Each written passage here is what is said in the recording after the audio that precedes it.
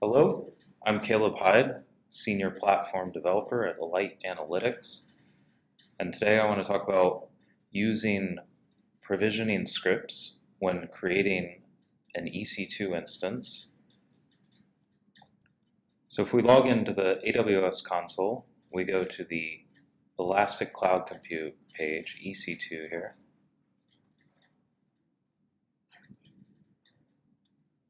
And from this summary page on EC2, we're going to launch a new instance. This time I'm going to use an Ubuntu server. It's a standard quick start instance, but I'm going to choose Ubuntu. I'm going to take the default micro instance size, click Next, configure instance details, and on here I want to scroll down to the bottom where it says additional details. Click this arrow so that expands. You may have to scroll down again. And in this user data field, we're going to put a bash script, an SS, SH script, which will be run automatically once the server is created. So I've got a small script here which logs that it's starting. It installs some additional tools, Git and Ansible, and then it logs that it's finished. So I'm going to take that short script, I'm going to paste it into this user data field, and then I'm going to go to review and launch, launch, I'm going to accept all the other defaults. I'm going to use the existing key that I already have created, acknowledge that I have the private key, and launch the instance.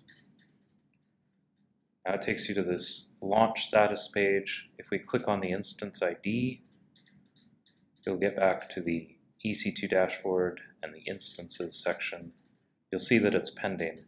Now it may take a couple of minutes for the instance to go to a green ready state. Uh, and then once that's done, we can connect to it.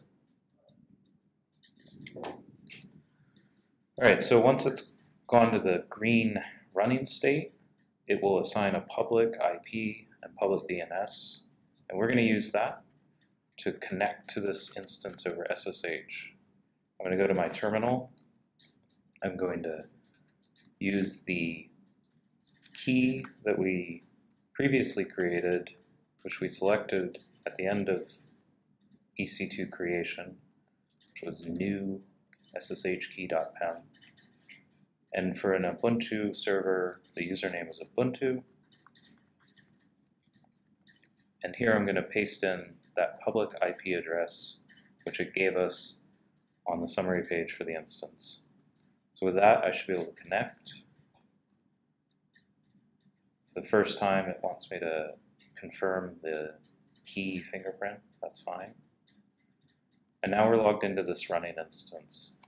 Now as I mentioned, we added a custom provisioning script. And now I want to I want to confirm that this script ran. So I'm going to look for this word provisioning, which we give at the beginning and the end. We log that logging or logger statement goes to var log syslog. And so if we search for provisioning in that file, we'll see that both the starting and the finished statement executed. And so we know that our script is run successfully and everything in between executed. And we should find that, for instance, we have the git command available to us, which is not installed by default. And that's it. I'm going to disconnect, log out of the instance, and then for and then I'm going to go ahead and actually turn down, terminate this instance.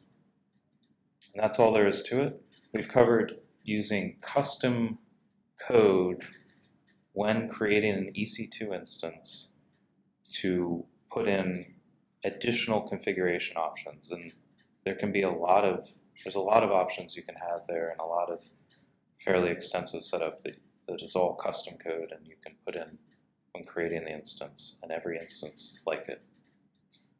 Thanks a lot, and that's all I've got.